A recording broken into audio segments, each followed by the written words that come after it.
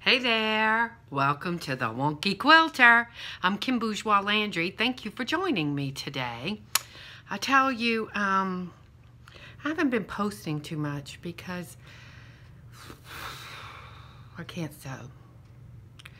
I haven't been able to sew in probably, I don't know, it feels like three months. I don't know how long. I sit down, I turn on the machine, I do three or four stitches, I'm dissatisfied.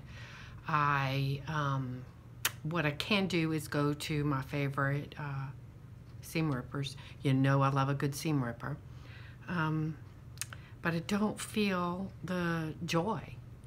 So my husband and I and um, my brother-in-law and sister-in-law went on a East Coast vacation. We went on a lobster eating vacation. We went to Maine and Massachusetts, which was on my brother-in-law's um, bucket list. And he was real sick last year, so um, we thought, you know what? What are we waiting for to do the bucket list? Like,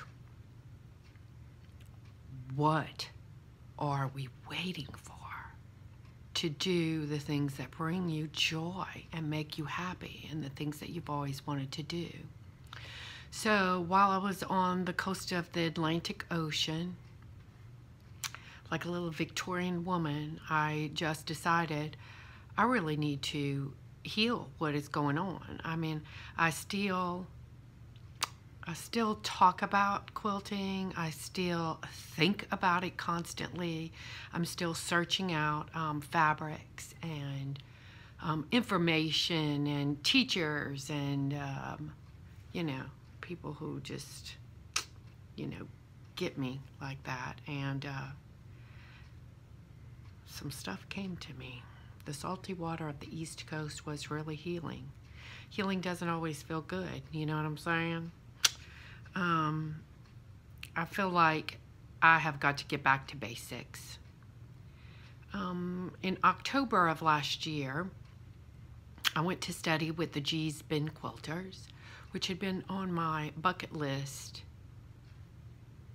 I mean, oh my gosh, who doesn't want to study with the Gee's Bend Quilters, especially if you're a hand quilter? But I mean, you know, they're doing uh, machine, machine stitching. Most of the women and men who show up to study with them. I've, I've gotten to study with them um, over um, a four or five day class twice now. I've been so blessed, so I'm grateful for that. But um, going to a class like that, I decided instead of um, hand stitching, which is what my joy is, I really should learn to use a sewing machine. I have a sewing machine, a very nice um, Brother SE400 that I bought um, from a friend who's a very good quilter, professional quilter.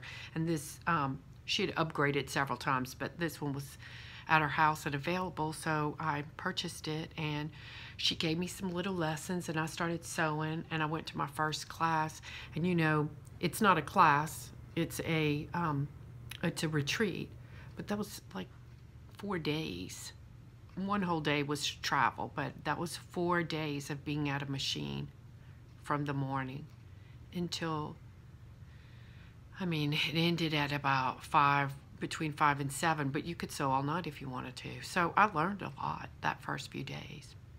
After that, I started searching out different kinds of fabric.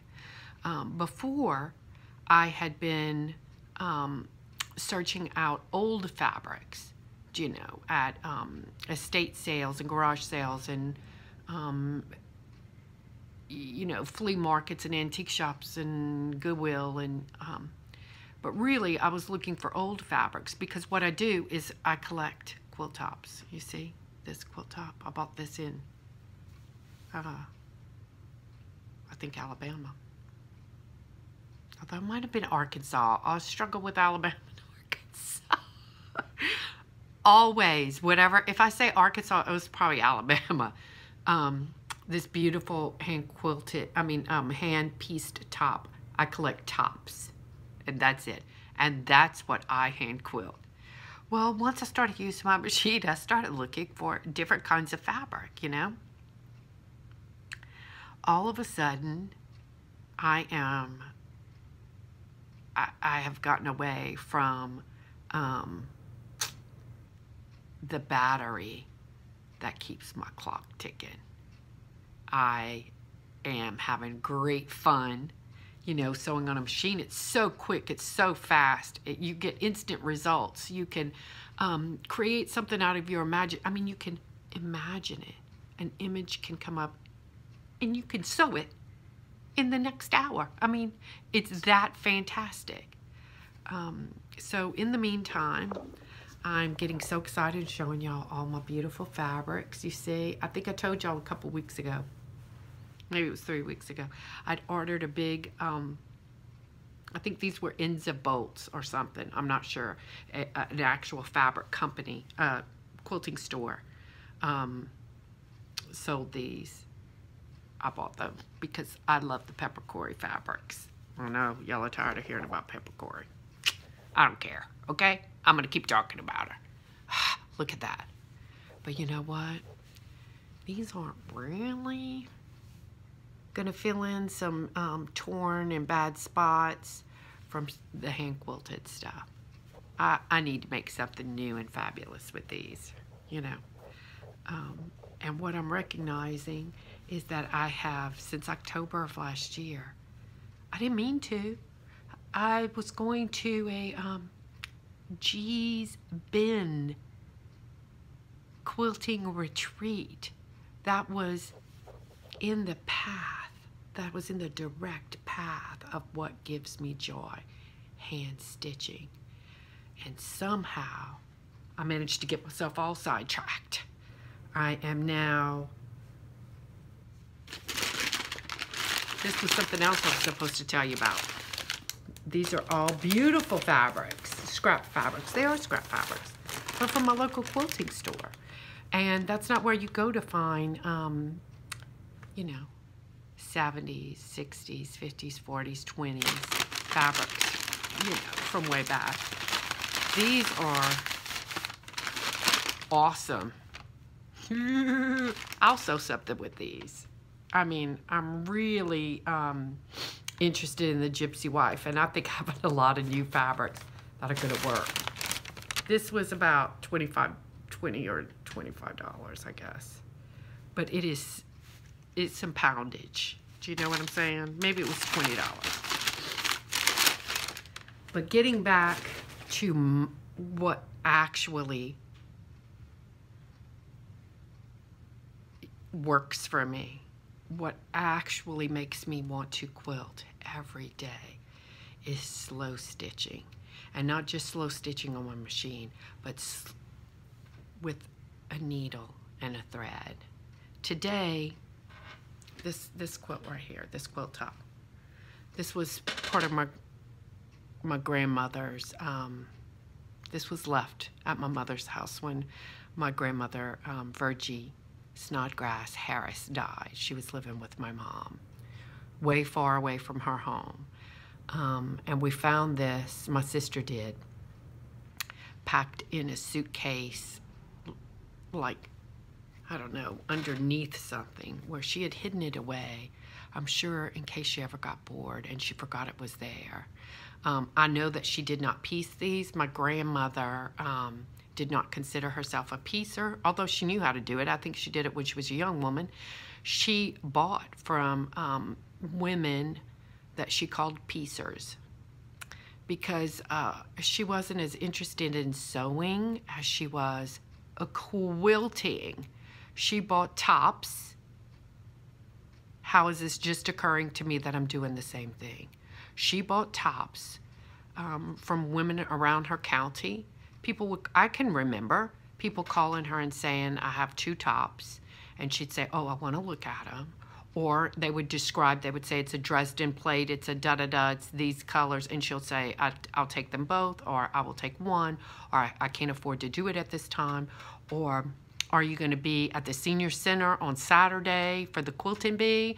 Uh, let me see them before you go inside, before anybody else sees them or before any of the old ladies, she would say. Like she was in her like 80s at that time, but before any of the old ladies would see him.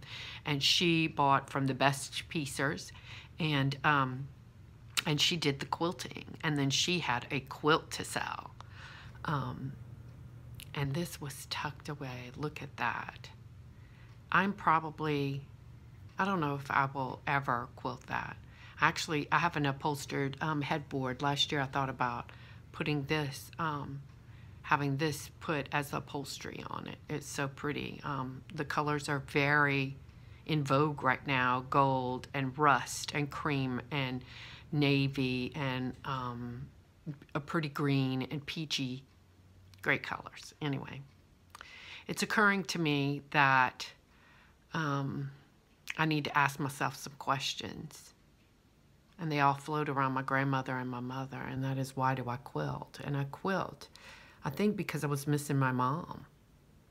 Um, after my mom died, I started quilting. They wanted me to quilt. I didn't want to, you know, I just didn't. My grandmother tried to teach me. She really did. She tried to teach me hard. Um, when I was a little girl, we visited once a year, and I I listened to everything she said and I participated. I'd sit next to her and do it, but I thought that it was like what old ladies did. But those things have come back to me now. I can remember things that she said when I was a little girl. I think some piece of her must have known um, that I was a quilter and that she could um, lay that with me. And I'm not the only quilter in my family. There are several women, I don't know of any men, but there are several women in my family, um, granddaughters and great granddaughters and nieces um, that can feel her standing behind them, you know, that really can. So um, I really, after this vacation, you know, listening to the waves come in and looking at the um, beautiful gray and white and black little cottages on the East Coast and feeling the peace and the quiet. Everything was just quiet and gray and calm.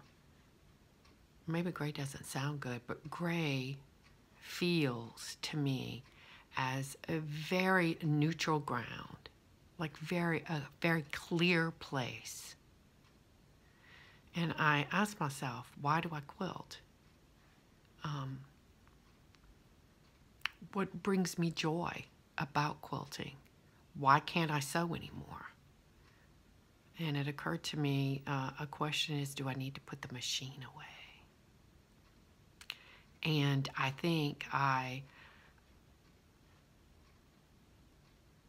I don't know how I did it, but I'm not going to say there's anything wrong with the machine because I've had a lot of fun with it. Um, but I think it took me out of my groove of what it is that makes me love stitching. And that's a needle and a thread. And it's the quiet and it's no machinery other than electric lights, you know, um, and maybe a podcast in my earphones. Um, and really, the only machine I've ever wanted was a treadle machine like my grandma Bourgeois, my dad's mom, who to the day she died, if she was had to sew something, she was treadling. Treadle, treadle. Sometimes she'd let us treadle for her. um, and I, that's the machine I want. And maybe to travel, I'll I'll have like a little um, black, uh, one of those little baby singers. What are they called? Anyway, you know what I'm talking about um, electric machine that does nothing but go forward and backward the end and it's tiny. Um, I can't think of what they're called right now but I have to remember um, what it is that made me love it. And it is so easy to be sidetracked. So really kind of every once in a while stop and think about have I been sidetracked? Is this what my art is? Um, I look around my sewing room. These are my mother's quilting hoops. This is a hand-done quilt by um, Marianne, one of the Gee's Bend quilters. These are all pieces of folk art. This metal piece, all handmade stuff. My cousin made this beautiful thing right up here for me. Oops, sorry about that. And it says, Virgie's Quilting Bee, and Virgie was my um, grandmother, and that's a piece of cedar from the Harris farm where my mother grew up, you know. And when I look in what's in all of these cabinets all around, it's all hand pieced things. And um, I got a little sidetracked. I still have a lot of things to show y'all. I'm not going to just plumb give up on the modern day stuff. But I'm going to pull out my um, my hand quilting. And I'm going to be ready to stitch with Miss Pepper Cory and a couple of the other teachers um, that teach hand work in Houston. And I'll be looking forward to it. I'll be start practicing and warming up my little fingers. And I guess no more fancy fingernails. We got to get back to basics. Getting back to basics. Anyway, thanks for joining me. If you like this, please like, share, and send me a comment so I know what you like and what you like to might like to hear more about. Okay, we'll talk to you later. Bye.